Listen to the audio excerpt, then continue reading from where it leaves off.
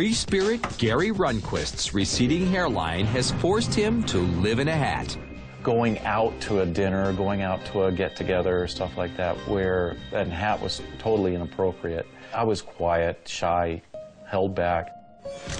In three procedures over 27 months, Dr. Miller transplanted 2,400 individual grafts of hair onto the top of Gary's head. In the first stage, nearly 900 grafts were evenly distributed over the balding areas. Hair slowly grew and started to fill in Gary's baldness. Nine months later, another 900 grafts were inserted. The third and final procedure of 600 grafts completed Gary's transformation. Now that I've done this procedure, I no longer have to sit there and think about what are people saying because that's gone. Now it's as if I never lost my hair. It definitely helped my esteem because I was always self-conscious. That's gone. I don't have to sit there and have that self-judgment going on, saying, you know, what are they looking at, my, my bald, shiny head or what? It's brought me back out into the real world.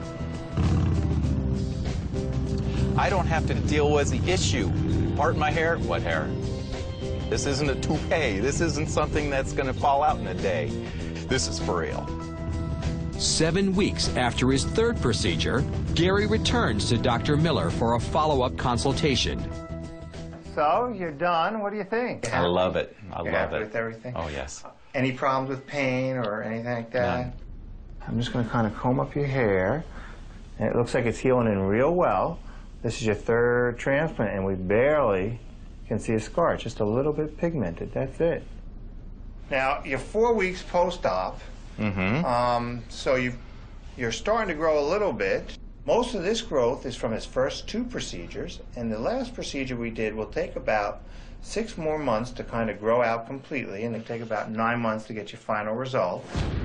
When you're 23 and noticing that your hair is really starting to disappear, and at this stage, to have it back, it, it's like a fresh breath where you're just sitting there exhaling, exhaling all your life, going, No, oh, I don't want this to happen.